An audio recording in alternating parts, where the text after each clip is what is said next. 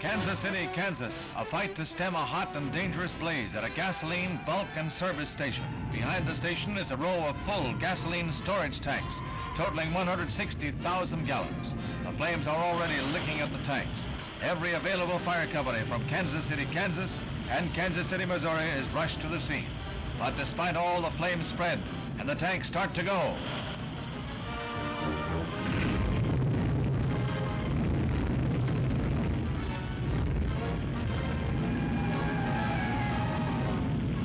shoot hundreds of feet in the air, and many of the firemen are engulfed by blazing gasoline. All but one escapes alive from the Holocaust, but over a dozen are seriously burned. In all, some 60 men were injured in fighting the fire, burned or overcome by smoke and fumes. Blaze began while a truck was being filled with gasoline, the start of a six-hour inferno. For Kansas City's most hardened firefighters, an ordeal they fervently hope may never be repeated.